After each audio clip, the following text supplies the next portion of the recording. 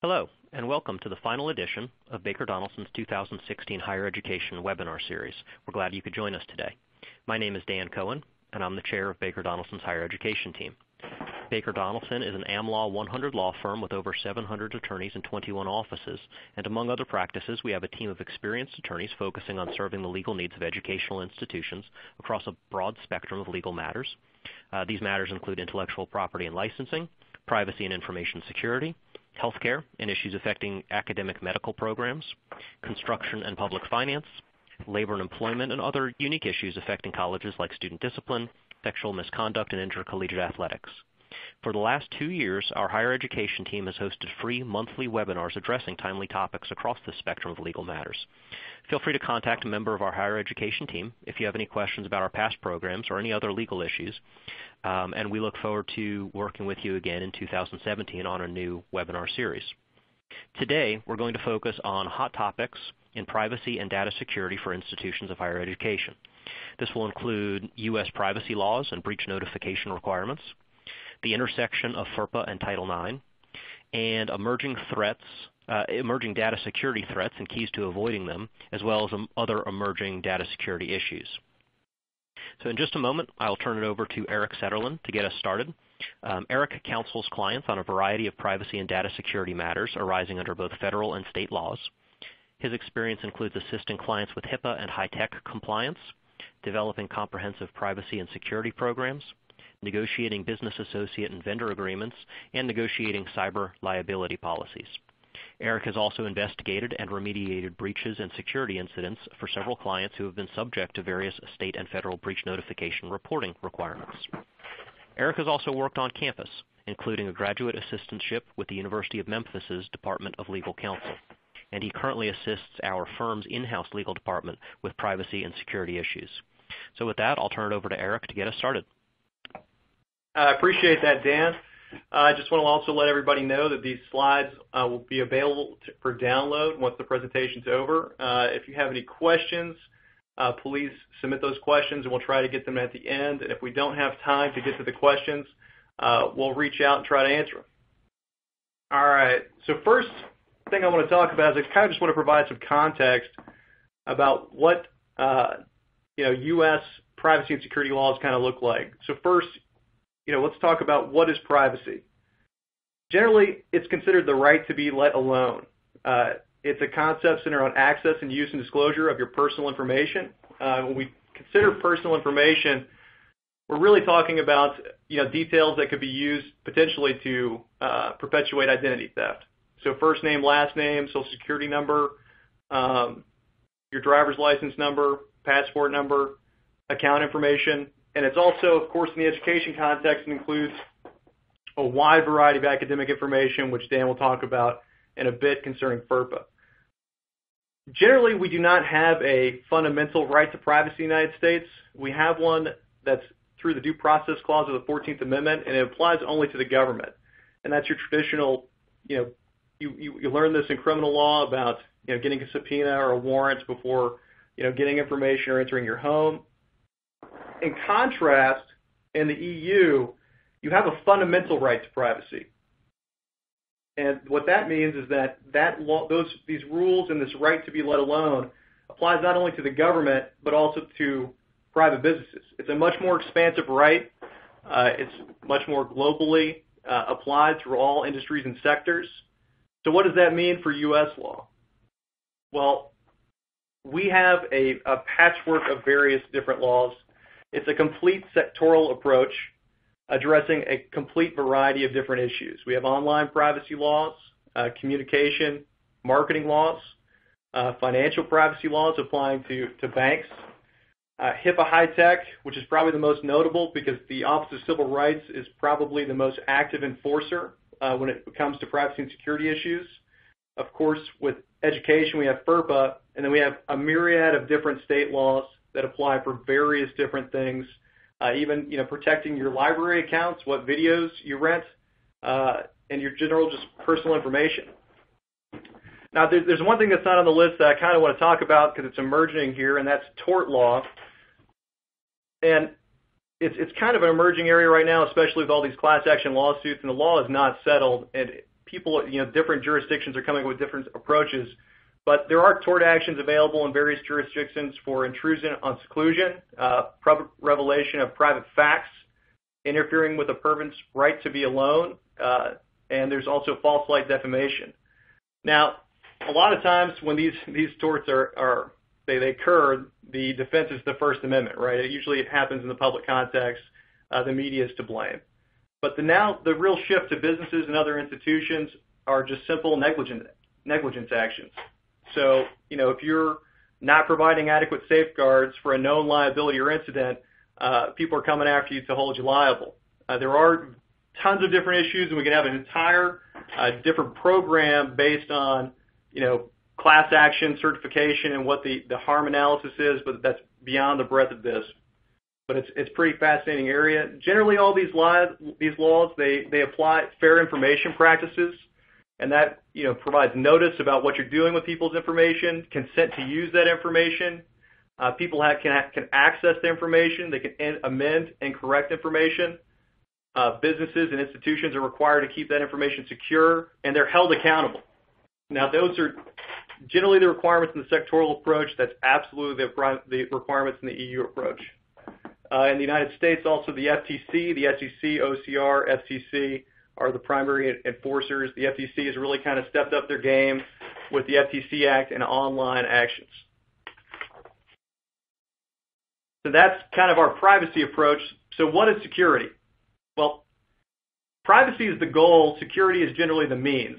And security relates to the measures undertaken to protect uh, PII or personal information against impermissible access, use, and disclosures. And when we talk about security, we're talking about the technical, physical, and administrative safeguards to ensure, you know, what we refer to generally as the CIA, the confidentiality, integrity, and availability of information. So your technical safeguards, that's going to be encryption, uh, password, authentication requirements, firewalls. Your physical safeguards are going to be ID badges, locks, key cards. And your administrative safeguards are your policies and procedures, your training, and your disciplinary. Uh, you know, one thing that's kind of actually being emerging right now is people were, were much more considering with the generic just block and tackling and preventing people from accessing information. But integrity is becoming a pretty significant issue, uh, especially in the healthcare setting. Uh, you know, maintaining the integrity of information is, is very important when you're treating patients the one thing that kind of immediately popped to my mind when I was, was thinking about integrity was uh, Ferris Bueller's Day Off, when he changes his his records to, to show that he has not had you know excessive absentees. I thought that was hilarious, but that was the first thing that I thought about in the education context. So, how do you apply these safeguards, and how do you know uh, when to apply and what to do? Well, the foundation of any program is is ongoing risk analysis and risk management. And with that, we're going to look at our vulnerabilities, our threats to assess our risk. Now, a vulnerability, it's a flaw or weakness in a system. Uh, it can be technical or non-technical. Threat is the potential for a person or thing to accidentally trigger or exploit a specific vulnerability, and that could be natural, human, or environmental. And then that's what you get risk. And there's some other factors here too. You need to really consider the probability that an event's going to occur and then what the impact harm is going to be. So just really, you know, kind of taking this at a base level, let's think about laptops, right? So the vulnerability to a laptop, let's say it's unencrypted. Well, if it's unencrypted and there's, it's not password protected, somebody can access the information on that computer. That's a vulnerability. What's the threat? The threat is that that, that laptop can be lost or stolen. Uh, what's the, the, the probability of that, that happening? Well, if people can take their laptops home, uh, it's fairly likely that it's going to happen eventually. And the impact and harm, that's going to depend on what information is on the computer. If the information has, if the computer has information that's subject to regulation or breach notification, PII or personal information, then the harm is going to be pretty significant. So you take that, that analysis, and that's how you identify your action. I'm going to go back to that slide you do this analysis to, to kind of assess your, your greatest total risk. And once you assess what's the greatest risk to your organization, then you apply the safeguards. But you're always looking at the greatest total risk and what's the best use of your, your limited assets to address these threats. So what's a breach? uh, generally it's an impermissible disclosure of protected data. And really, it's based on what the definition and what the statutes say a breach is. A breach is a term of art. And, and when you say something's a breach, it really means you have to notify consumers. That's the way we think about it in the industry. It's that's the way people are going to think about it. Uh, you know, specifically plaintiffs' attorneys. Uh, they're going to say, if I've had an event and it's exposed somebody's information, that's going to be a breach. Now, importantly, not all events are breaches. Uh, you can have just a security incident that exposes information or aspects of your system, but it's not always a breach. You really have to, you know, expose or have unauthorized access to PII. And, and the reason is you need to be cognizant of this is you need to your employees need to be trained to understand that not every event is a breach. You don't want emails flying around saying this has been a breach. It's a data event. It's a data incident. And better yet, if you have a significant incident that potentially involves PII, you should probably be doing most, most, most of your talking over the phone. Have meetings, uh, you know, take notes, but don't necessarily say, you know, this is a breach. It's going to be discoverable. That could come back on your organization. And oftentimes, I would say probably 60 to 70 percent of the incidents that we uh, are hired to to come and investigate, an incident looks like it's it's going to be massive. There's going to be a thousand people that are affected. After we investigate, and we hire a forensics investigator to come in and also look at uh, what's happened on the system. Sometimes only 20 to 30 people are actually impacted and have to be notified. So you just want to be careful with what words you use, understanding that, that words have meaning. So again, breach is a term of art. It's a security incident until usually in-house counsel or outside counsel determines that it's a reportable breach. So there is no federal breach notification law that's um, general application. Several have been proposed. None have gotten any traction in Congress. However, there are numerous state breach notification laws. Uh, they all have different definitions of PII. Again, generally that's first name, last name, social security number, driver's license, uh, financial account information. It always excludes public information. Most states have encryption safe harbors, meaning that if the information that was compromised or accessed was encrypted such that a person could not decipher what the information was, again, the laptop example, that's not going to be a reportable breach. However, just this year, Tennessee removed its encryption safe harbor, and many states are, are considering it. I think California is also another state that's considering it. And the, the reason being is that if for some reason the password can also be obtained and the, the item is encrypted, well, that makes encryption worthless. So you have to do the, they, states are wanting more companies to do the entire analysis to say, well, just because it's encrypted, well, is the password also safe? Is it not going to come in and can they not compromise and open the information? They want you to do a complete assessment of the situation rather than just making a blanket determination that it's not a breach. That's Tennessee is a minority, but I would expect in five to ten years, uh, or even sooner, if California goes, that uh, you'll see more states jumping on that type of analysis. Uh, with that kind of the brief overview, I'm going to pass it over to Dan. Dan's going to discuss FERPA and some of the confidentiality concerns in a Title IX investigation. Right. Thank you, Eric. Um, so, right, talking about the intersection of FERPA and Title IX, and really how do you reconcile FERPA's requirements with due process considerations that we've seen raised in so many Title IX um, cases, litigation around the country. So starting with FERPA, um, FERPA basically gives college students the rights to control the disclosure of their educational records, and then, of course, also to inspect and review their own educational records and to seek amendment of their educational records. Um, at the collegiate level, these rights belong to the student, not his or her parents, not their legal guardians, um, once they enroll in college or university. Now, of course, these rights can be waived by the student's express consent. Um, but what does that really mean? How broad is that when it says that when FERPA says that it gives college students the right to control the disclosure of their educational records?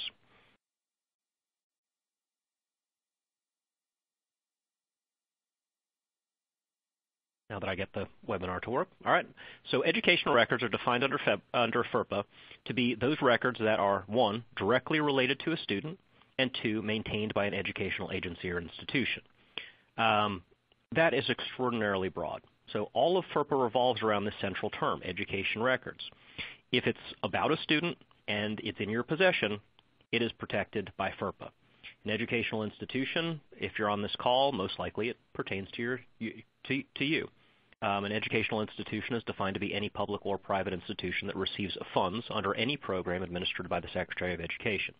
And then, of course, records are anything that is recorded, any information that is recorded in any way, including but not limited to handwriting, print, computer media, video, um, or audio, tape, film, microfilm, or microfiche, um, if you are still maintaining records in microfiche form. So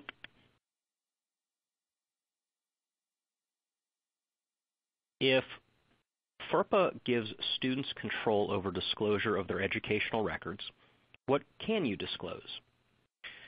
Um, well, federal regulation at 34 CFR 9930 states that the student shall provide written consent before an educational agency or institution discloses personally identifiable information from the student's education records.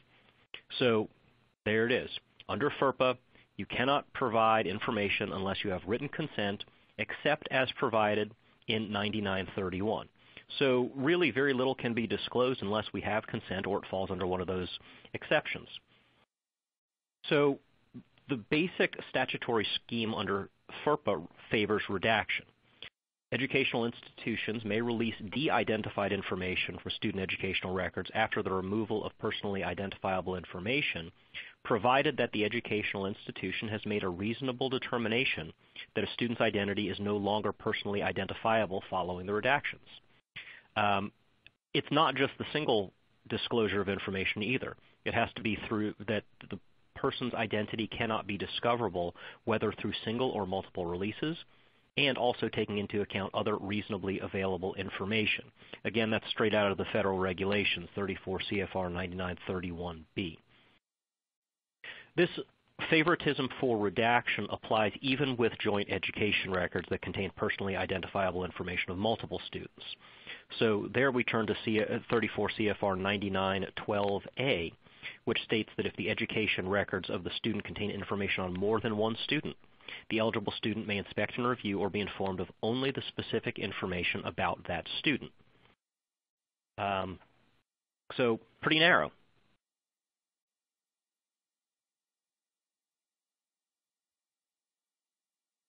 So now let's think about, in the absence of consent, what are those express uh, exceptions? When can you review or re provide information to multiple parties in a Title IX investigation? Well, the express FERPA exceptions do permit a school to inform the alleged victim of the final results of a disciplinary proceeding for an act of violence or non-forcible sex offense um, that would cover a lot of Title IX proceedings, but we're only talking about disclosure to the victim. We're only just talking about disclosure of the final results, and it does not uncover all sexual misconduct cases, like a retaliation case, for example. So that's from 34 CFR 9931A13. Then A14 provides that if the respondent is found responsible for such a violation, meaning for an act of violence or a non-forcible sex offense, then the school may disclose the final results publicly. But again, they have to take care, the school must take care that it does not accidentally reveal any other student's information um, who is involved in the case, whether as a witness, as the victim, or otherwise. So this statutory scheme creates some real issues for alerting the campus community about ongoing Title IX cases that, for example, may have received media exposure or even alerting the victim in a Title IX case that doesn't involve sexual violence, it's something like a retaliation case. So what about during a Title IX investigation or proceeding? Um, on its face, FERPA's limited disclosure exceptions really do create huge due process problems for schools during the adjudication phase of Title IX cases because there is no express exception as we're looking at here on this slide. Um, frankly, it applies to any other student disciplinary case as well as Title IX cases. Um, as this shows nominally, schools would not even be able to inform respondents about the charges against them if doing so would reveal another student's personally identifiable information. So what do we do? Well, fortunately, the Department of Education gave us a little bit of room here. Um, as the Department of Education commented in 2008, um, when the FERPA regulatory amendments were being enacted, the Department of Education clarified that for records that concern multiple students, um, an eligible student has the right to inspect and review statements that are directly related to the student, even if that statement contains information that is also directly related to the other to another student, if that information cannot be segregated and redacted without destroying its meaning. So that's a quote from um, uh, the, the sources at the bottom, but it's a quote from the Department of Education. So DOE went farther in giving an example and that's the first uh, sub-bullet point there. For example, both John and Michael would have a right to inspect and review the following information in a witness statement maintained by the school because it is directly related to both students. Quote, John grabbed Michael's backpack and hit him over the head with it. So if the records are so inextricably intertwined that you cannot simply redact information, then DOE would allow you to provide that information to both students. It's not your typical case. It's only when those records are so inextricably intertwined that the information cannot be segregated and redacted without destroying its meaning. So just in order to show the narrowness of this exception as imagined by DOE, they gave a second example. Before allowing Michael to inspect and review other statements, the school must also redact any information about John or any other student that is not directly related to Michael, such as a statement that John also punched Stephen in the stomach and took Stephen's gloves. Since Michael likely knows about the other students who were involved in the altercation, under paragraph G of the uh, uh, uh of these uh, regulatory amendments, the school could not release any part of that sentence to Michael as it pertained to Stephen. Um, so as you can tell, this is a pretty narrow ex exception. Um, it might help with some of the due process considerations, such as sharing uh, these types of inextricably intertwined records between a claimant and a respondent, but it typically will not allow a school to share claimant or respondent information uh, with or about a witness, for example.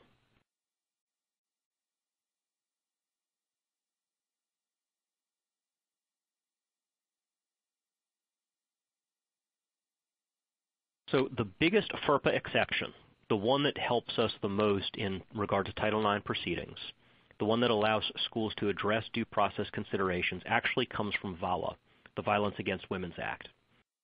The VAWA regulations state that disciplinary, disciplinary proceedings in cases of alleged dating violence, domestic violence, sexual assault, or stalking will include a prompt, fair, and impartial proceeding that is conducted in a manner that provides timely and equal access to the accuser, the accused and appropriate university or college officials to any information that will be used during informal and formal disciplinary proceedings, uh, excuse me, meetings and hearings. So while the regulation doesn't specifically address this concept of redaction that we've been talking about earlier, it does state that compliance with this section does not constitute a violation of FERPA. So this is really the saving grace when it comes to Title IX investigations and the need to provide due process if the information is going to be is used during informal or formal disciplinary meetings or hearings, VAWA would allow you to share that with the concerned students.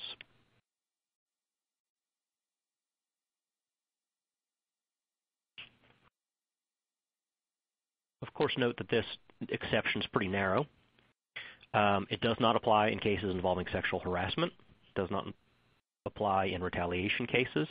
It's only those four uh, Clery categories, um, dating violence, domestic violence, sexual assault, or stalking. Um, and it also does not permit disclosure to witnesses.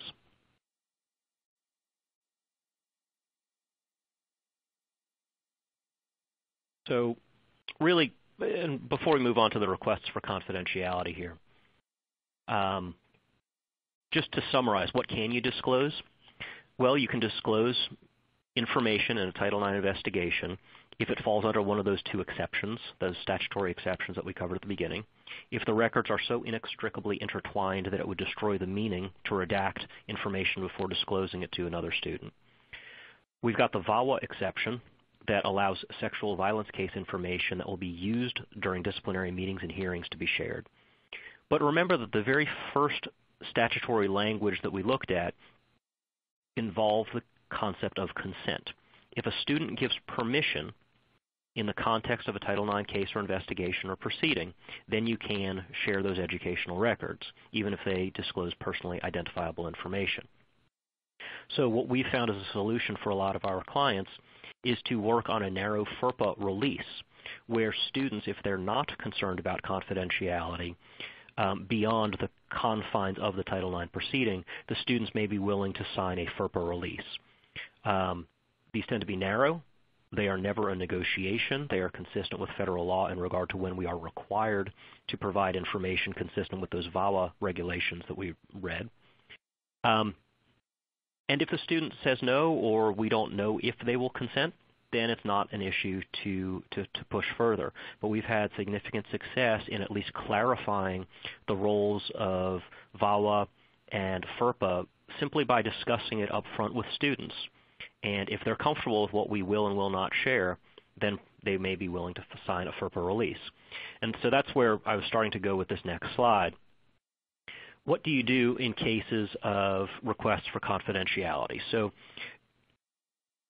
for Title IX purposes, if a student requests that his or her name not be revealed to the alleged perpetrator or asks that the school not investigate or take action against the alleged perpetrator, the school always, under Title IX, needs to determine whether or not it can honor such a request while still providing a safe and non-discriminatory environment for all students. Um, of course, any Title IX complaint report claim that you receive, you're required to investigate it.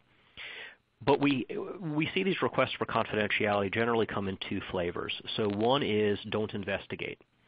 Um, if a student asks that you not investigate a matter, you should explain that the, that the school must investigate it, both under Title IX and typically under the school sexual misconduct policy.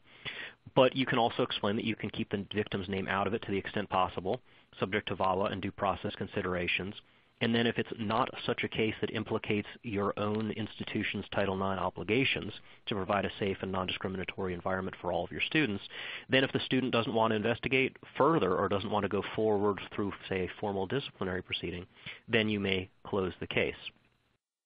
But oftentimes what we see also is a student's request for confidentiality where they basically say, okay, I want you to investigate it. I want you to take disciplinary action against the respondent, but keep me out of it.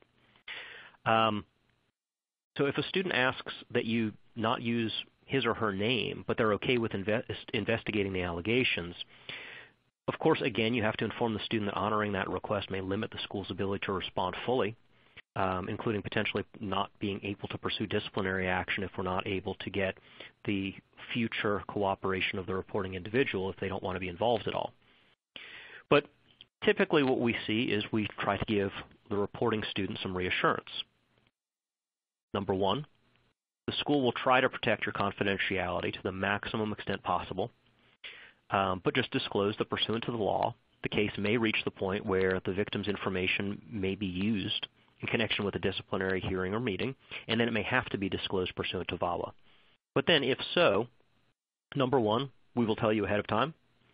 Number two, Title IX includes protections against retaliation, um, and the school will not only take steps to prevent retaliation, but will also take strong responsive action if it occurs. And then number three, pursuant to FERPA, any recipient who may receive released information about a, a complaining witness, even if they don't want to stay involved, if it's required to be disclosed pursuant to VAWA, the recipient of that information is prohibited under FERPA from redisclosing that information. Um, the recipient may only use information for the specified purpose. Um, which would be within the context or confines of the Title IX proceeding.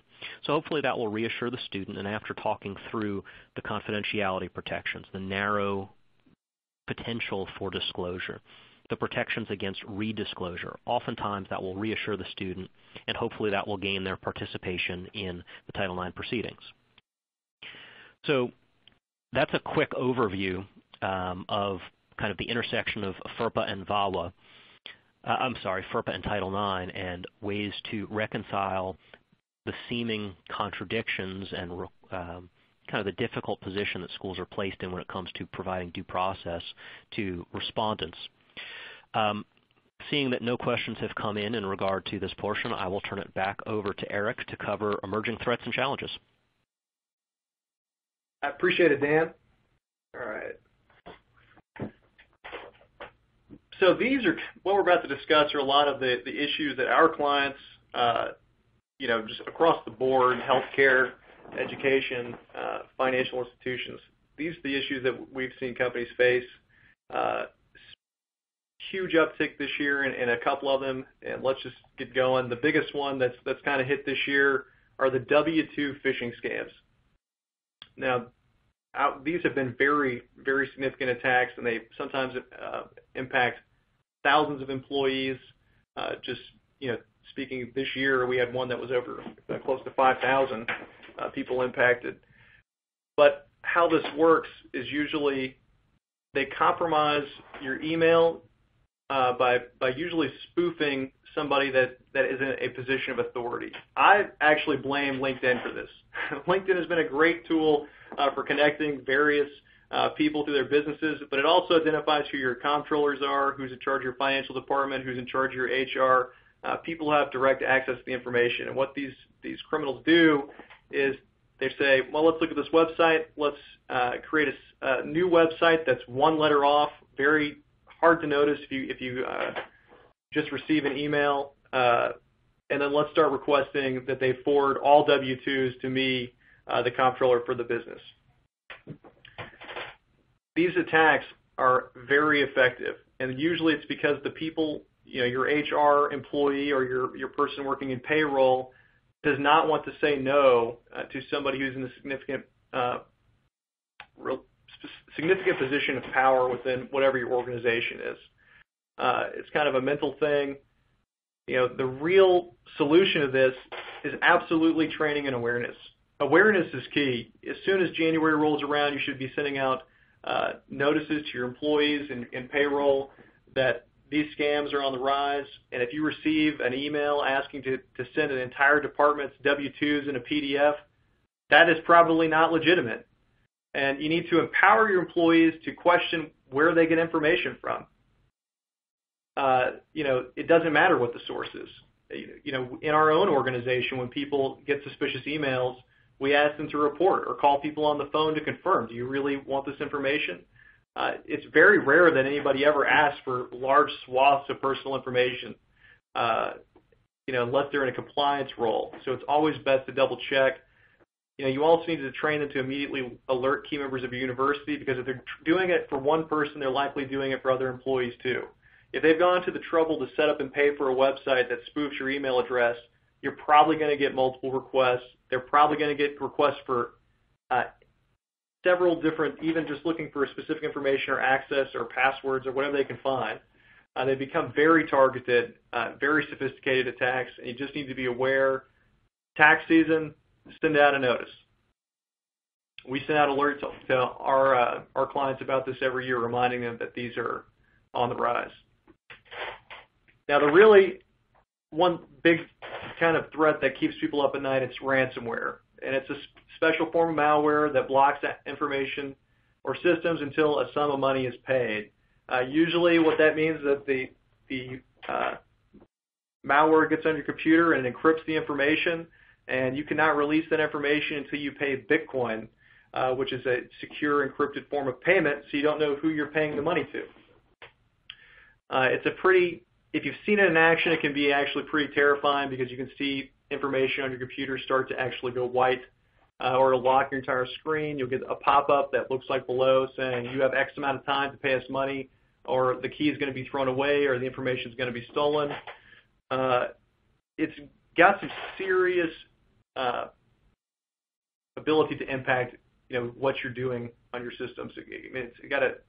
For businesses alone, it's going to have a huge impact. For healthcare, it can be dangerous. If information's locked and you can't access information and you need to treat somebody, it can be pretty devastating. Even if it's just if it's non-business critical information, uh, it's just it can be really annoying and kind of shake you up that somebody's come into your system, has just literally stolen information and made it so you cannot access it. You know, so what what do you do? What What's the traditional uh, blocking and tackling for this? I mean, number one, you need to have an external backup, and it needs to be independent from your, your system. If you have a backup, you can immediately uh, kind of transition to that and not worry about it. You don't have to pay the criminals. You don't have to mess with them. Uh, it's the easiest way to do it. You need to train your employees to recognizing the threat. I mean, again, I think I didn't cover this, but the way that the, you usually get ransomware is through malicious links, and again, it's uh, through phishing emails. You can also get it by drive-by downloads. So you need to, to let your employees know, again, if they receive suspicious emails, uh, don't click on the links. Forward them to your IT security person. Uh, but they need to let people know because, again, it's not going to be just one impacted employee. It's going to be several employees, and the sooner you identify that issue, the better. In fact, uh, if universities were talking to each other about these issues, it also could significantly uh, help them respond to them.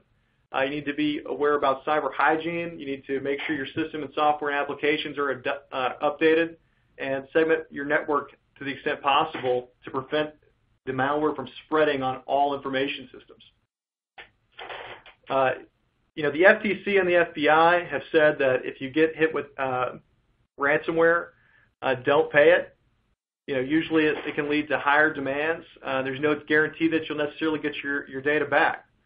Uh, and it can also make you a future target uh, for uh, more attacks from the same company, or I said company, from the same criminals. Actually, these these ransomware outfits have become very sophisticated. They even have helplines where you can call to sometimes pay them. Uh, they have several employees. It's it's a it's a business racket. Uh, you know, to some extent, if you don't have a backup, uh, that information could be lost if you don't want to cooperate with the criminals but to some extent you might not have any other options. Several hospitals have been hit with this and have actually had to pay it because uh, critical health information has been locked up and they had to get it back.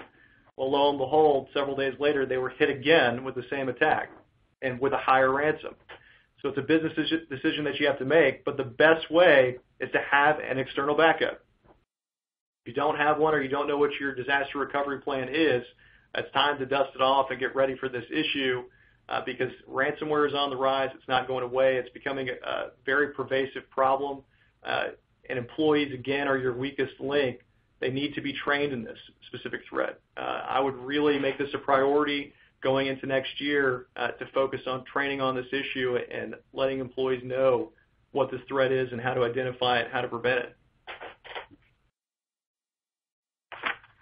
Now, this is more not a threat, as more applications move into the cloud, this is a significant business issue uh, for cloud security. You need to make sure that you're actually perf- performing meaningful due diligence. As more assets move to the cloud and you're moving to more online application-based services, many people are not performing due diligence, and they're not looking at specific clauses even as basic as who owns the data, or can I get my data back with a repatriation clause. Uh, we've come to diff- had difficult issues sometimes when startup cloud providers have just basic, very uh, lopsided agreements that are not negotiated that say that they own the data, and if you don't pay, they've they've held it ransom. You need to be aware and try to prevent those issues on the front end. Uh, also, you need to just specifically just ask questions about security. People are not asking enough questions of, their cloud vendors about what they're doing. These are very simple questions, such as who is your security officer? Uh, when were they appointed? Uh, is this a dedicated position or do they provide any other roles in your business? Do you have policies and procedures in place? Ask to see those policies and procedures. When were they revised? How often do you train your staff on those policies and procedures? Have you had a security risk analysis performed? Again, assessing the threats and vulnerabilities. Have you had penetration testing performed? Do you have cyber insurance? I mean, that's a that's a really key one right there because if if they are insured, they can assist you with the cost of that issue or if third-party claims arise. Uh, who's your insurer? Is, a, a, is it a, uh, a known insurance outfit like AIG or Beazley, or are you working with some small regional underwriter that might not actually be able to cover the risk? Uh, do you rely on other subcontractors? I mean, your subcontractors are probably almost always going to rely on other subcontractors, especially if they're best based in the cloud. They're probably going to rely on some Microsoft or Amazon uh, web-based services. They need to make sure that all security requirements are pushed down to their their subcontractors, or at least know what those what's what's in those agreements. Ask your vendors, do you have a breach response plan in place? When was this plan last tested? Also explain your data destruction policies. And then this is probably the most obvious question, but have you ever had a significant data breach or security incident? Uh, what happened and how was it resolved? You know, hopefully, that'll be a positive discussion, but a lot of companies are just not even having that simple discussion, and they're thinking that when they receive an agreement that's in a PDF, that it's non-negotiable. Well, that's not the case. You can convert that from PDF to a Word doc, and usually all of those clauses are negotiable. So I just kind of implore you guys to ask questions and do due diligence, because if any issue ever arises, you can at least say, "Well, my behavior was reasonable. I looked into this this vendor, and it didn't come, come back up." No issues came up on the front end. Another significant issue is data retention. As more people have digital data, they're not actually deleting it. I mean, people are just amassing massive amounts of data and storing it forever. If you don't need information anymore, it needs to be destroyed. If you don't destroy it, you're just increasing your risk every day as that data continues to grow. Uh, when assets go offline, you need to make sure that you actually wipe the asset before it's either sold or repurposed for some other uh, state use. Uh, there has been incidents in certain states for elementary schools and high schools where computers were not wiped and student data uh, was sold actually abroad outside the United States. Uh, the other big thing is is mobile devices. Uh, people are using bring your own device. You need to make sure you have some sort of mobile device management program in place that can wipe that information, or just making sure that that certain employees can't even don't even have access to personal information on their phones if they don't need it. So those are kind of the significant issues that we're seeing uh, really right now. Data retention issues, people not deleting information they don't need anymore, not appropriately addressing the security and cloud vendors uh, through due diligence, ransomware, and uh, the W-2 phishing scams. But here are kind of just some general strategies kind of approaching any sort of issue in your privacy and security program. You know, again, on the front end, I would minimize data collection and retention. I don't think enough companies are actually looking at, or institutions are looking at what information they actually need and for what purpose. Don't collect more information than you absolutely have to. I mean, if you don't need somebody's Social Security number on a form, then don't request it. And when you're done with it, definitely destroy it. You need to have role-based access with prompt termination of rights when people are actually uh, fired. Uh, you need to also exercise due care with what we refer to as the keys to the kingdom. Usually, there's one person who has administrative rights to all systems. You need to make sure that that's potentially segregated and not that one person controls everything. Uh, encrypting data at rest and data in motion, uh, that's you know encrypting your computer hard drives and databases, but also data in motion, you know emails and things containing PII. Encryption, again, is kind of a it's a great way to actually minimize your risk, and encryption solutions are being they're widely ah, prevalent, sorry, prevalent, and they're becoming much cheaper. Uh, again, looking back at state laws, encrypted information that is compromised or accessed generally does not automatically equate to a breach. You meet that that breach notification safe harbor. So I'd be looking at what, what you can do to encrypt information that's in your possession. Uh, evaluate the cost benefit of BYOD programs. Again, are the risks worth the convenience, and can you agree to wipe the device? You know, sometimes employees don't need access to everything, and a lot of times when BYOD policies are put in place, employees who don't necessarily need access to information are still getting it uh, for supposed convenience. Not always the case. Uh, sometimes you know, we often suggest that that clients have very limited BYOD programs to people who only need the information to work after hours. Uh, that seems to work better than just having broad BYOD policies in place. Uh, also need to provide secure access to the internet to the extent you can. Have public-private networks. You know, public networks, obviously, where guests can come on and use those networks. Private, done for internal business. Implement meeting firewalls, enterprise and franchise system. Again, robust backup systems in an offline environment to protect against things like ransomware. Conduct penetration vulnerability testing often. Uh, sometimes have outside vendors come in and do that own that own testing. You need to evaluate the cyber liability coverage, and specifically for vendors. Um, last but not least is just training, training, and more training. The more that your employees are aware about these issues, the less problems you'll have. Uh, we try to send out actually reminders anytime we get specific type of uh, emails that look suspicious. Uh, that's a great way to constantly keep the issue in front of your employees and let them know, "Hey, this is an issue. We received this email. Be on the lookout for more things like this." And it kind of creates a culture where you understand that there is a constant threat, and you have to be vigilant about it. And if not, you could click on something that could give your computer ransomware. Uh, but really, that that helps kind of change the culture. I I mean, I really highly recommend doing security reminders often to your employees. And just last, your privacy information security program should be dynamic, should cover a wide range of information, should be adaptable to various situations. It shouldn't be so specific that it, it's not flexible. It needs to be defensive, to be proactive, requiring you to do security risk analysis or have change control policies when significant IT changes are made. It needs to be offensive when it needs to be, and it absolutely has to be endorsed and promoted by administration. If you do not have top-down buy-in of the program, it's very difficult for a privacy and security program to actually succeed. Uh, if it has to be taken seriously by administration. Uh, that's difficult in many environments, including in the law firm environment. Uh, There's huge cases, and the risk is sometimes too great. It can become very expensive. Again, just looking at traditional data breach, the cost of one identity theft uh, you know, monitoring program is usually $20-$50, depending on if it's one or two years of service.